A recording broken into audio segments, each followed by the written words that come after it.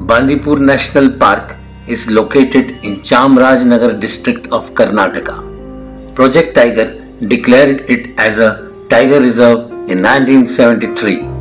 Chamrajnagar is 50 kilometers from Mysore city. The park has a large deciduous forest and well spread shrublands. The park is close to the Kabini and Moyar river. The park has a large variety of wildlife and well organized safaris.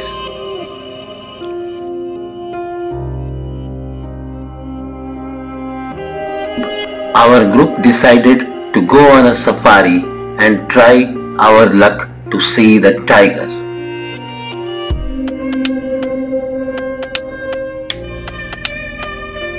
Our luck turned out to be very favorable and had the opportunity to see the tiger. The tiger was busy tracking its prey and was well hidden in the bush.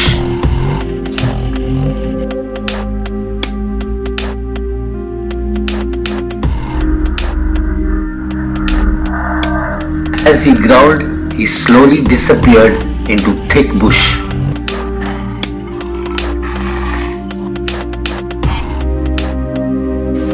दिख- दिखाई दे रहा है दिख- दिखाई दे रहा है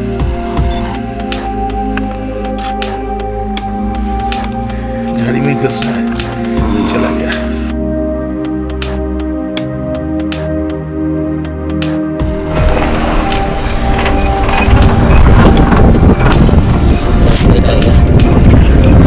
The tiger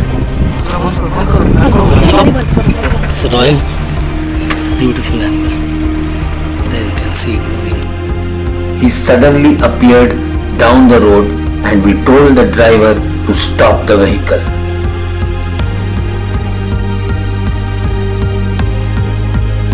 The tiger was magnificent, royal, and indeed adorable. We kept watching him in astonishment. He suddenly turned left, cautiously heading to the green thicket. We felt overjoyed to see him so close, save the tiger and save the forest.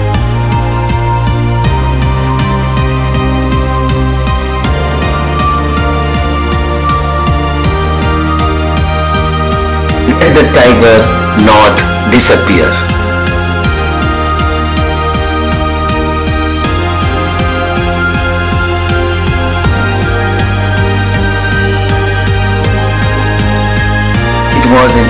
Enchanting sight watching the family herd following each other as they headed into thick cover.